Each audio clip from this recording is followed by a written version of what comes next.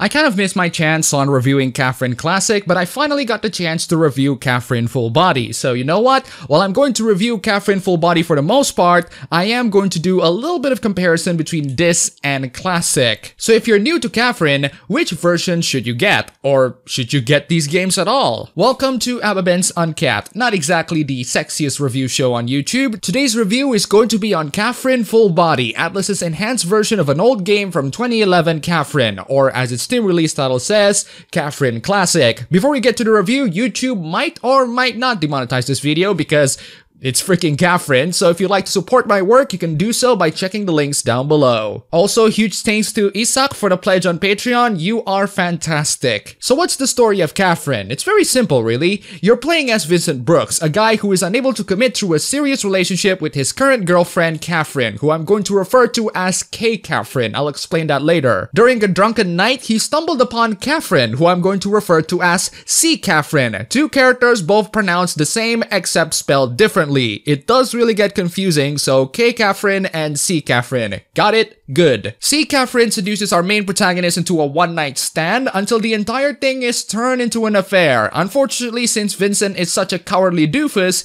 he is unable to just explain to C Catherine that he has a freaking girlfriend. He even said it himself at one point, but didn't act on it because He's a freaking doofus. So he ends up cheating on K Catherine with C Catherine, and his inability to tell her what's going on just puts him more and more into trouble. And one of those troubles is this recurring nightmare that he has, where he's turned into a sheep and forced to climb a bunch of boxes before a giant butt monster from hell come to eat him. And when I say giant butt monster, I mean giant butt monster. The nightmare is actually turned serious as there are people who actually died as they are having these nightmares. So Vincent has to keep on climbing or else he will actually be eaten by the butt monster and die in real life. People dying in the metaverse ended up dying in real life? That sounds like an Atlus game. So expect nuanced discussions about the values of life while having people trying to survive the metaverse from giant butt monsters. At least you didn't have to encounter the giant dick monster from the series next door. As if that's not enough, the full body version adds another new character, Q Catherine, but instead of pronouncing it like the two other Catherines, they just call her Rin. So the game turns from a love triangle into a love square in full body. Who is Vincent going to choose to commit his relationship with? Can he escape the torment and the suffering of choice and commitment? Now, unlike any other Atlus games, this game can be finished in about 12 to 15 hours, so the length for the game is your typical single-player campaign game rather than the overlong JRPG mess that was the Persona series, and that, my friend, is on the easy difficulty, which is the second level of this game's difficulty scale, as opposed to safety, which is way too game journalist for me. And while I can play the game on normal just fine, I stick to easy so that I can just get this game over with. So if you're playing this game on even harder difficulties, expect to finish the game in about 20 hours, especially if you're one of those guys who like to replay the game's level to get all the gold medals and all of that. Beyond the silly romantic love story, Catherine is a puzzle platformer. It sounds simple enough, you just move blocks from one place after another to create stairways to get to the top floor.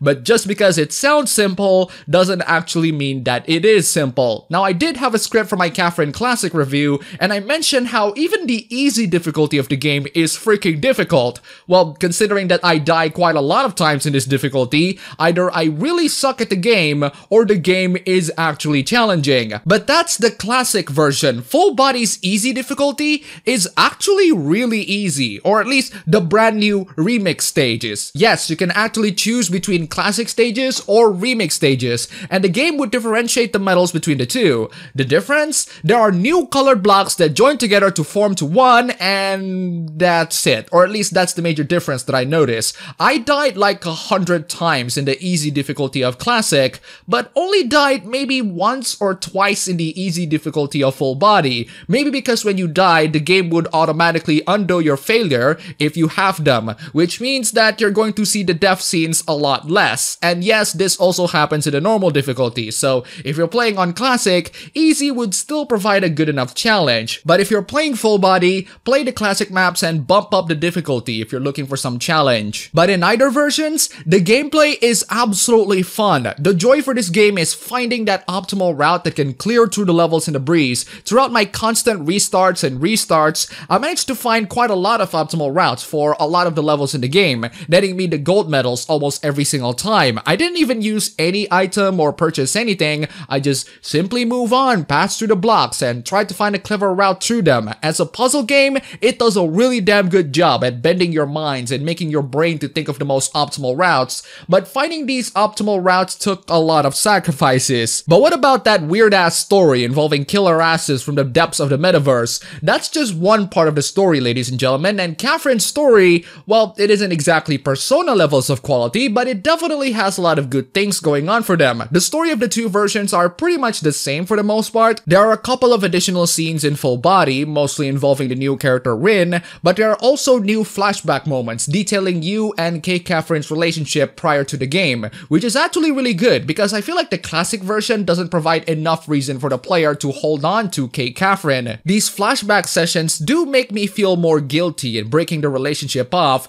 and making me want to hold off into that for more. But in neither versions of the game, Vincent is still a freaking wuss. He's a nervous, whiny, cowardly, and indecisive protagonist that makes me seriously want to punch him in the face. He always puts himself in the most panic-inducing situations where he can just resolve the problems by calming down and being rational and explaining things to both parties. But no, he has to whine and drink and whine. And that's just on the classic version. With Rin on the party putting more dilemmas on this wuss, my opinions on him lessens from a punch to the face to an additional kick in the balls. This guy cannot calm his dick down. He's perfectly aware that he's cheating, he's aware that it's wrong, and yet he does it anyway. But that's just on the real world section. In the nightmare section, Vincent, for some reason, does a complete character 180. While there are moments in the nightmare where he is legitimately terrified, for the most part, he is actually really calm and rational, to the point where he's able to cheer up the rest of the sheeps that got put into the nightmare. In fact,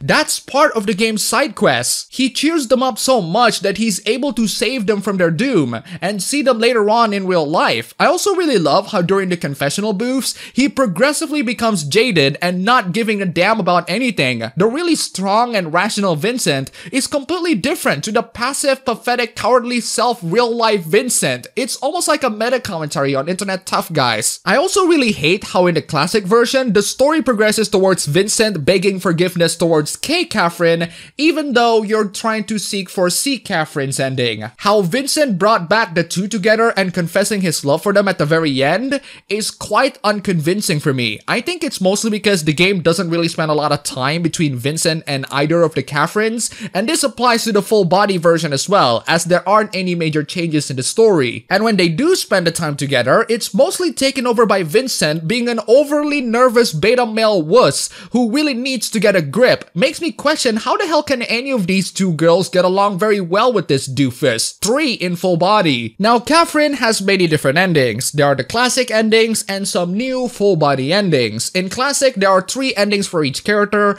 and two additional freedom endings. In full body, there's one new ending for each character and three more endings for Rin. All of these endings are determined based on your alignment and the choices that you make throughout the entire game. The game's alignment system is an order versus chaos thing, represented with blue and red respectively. So if you answer questions that would lead to order and stability, you'd get more blue morality points, etc. Some of the questions are a bit weird, like how is being a cat person represents chaos? I thought dogs are more chaotic, or in my experience at least. But then again, you don't see a lot of trained cats these days, do you? Anyway, overall, I'm fine with the endings. All of them are very satisfying and funny and wholesome. The new endings for Full Body are very funny too. My complaint, however, lies within the game's questions. You're not really answering them based on your honest opinion, you're just answering them based on the ending that you will get. Even one of the sheeps are aware of this flaw. And now let's talk about a big problem with Full Body that is pretty much fixed on Catherine Classic, weirdly enough. Full Body runs on 30 FPS, while Classic runs on 60 FPS. Now yes, Classic only barely runs on 60 FPS when it first launched,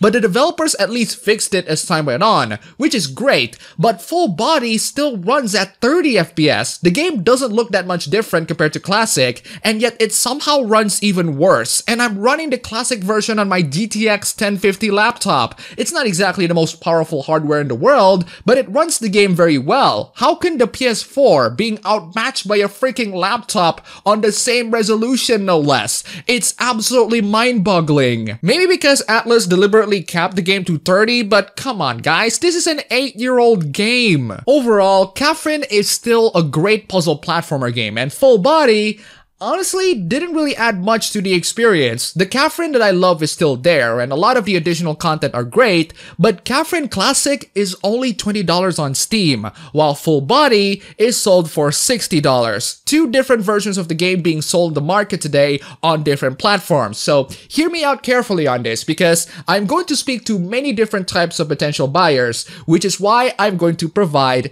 this handy flowchart. If you have played Classic, get Full Body on discount for around 20 to $30, regardless if you're looking for story or gameplay. It's not worth $60 buying the same game again, unless if you're a hardcore fan and you want to own everything and you want to sport Atlus and all. For those who have never played Classic but you have a decent entry-level PC like mine, just stick to Classic and don't bother getting full body, even if you have a PS4. You'll get pretty much the same essential experience for significantly less price. For those who have never played Classic and doesn't have a good PC to run Classic. The question is if you're in it for the story or gameplay. If you're in it for the story, wait for the game to discount for around 20 to $30. While Full Body's gameplay content are plentiful, there aren't a lot of new story content to justify that $60 price tag, unless if you want to replay the same game over and over and over again just to get different endings. However, if you're in it for the puzzle gameplay, then sure, the game is worth it for $60. There are tons of content in the game that would last you hours upon hours upon hours hours. I haven't tested a new multiplayer mode because I don't have anyone else to play with,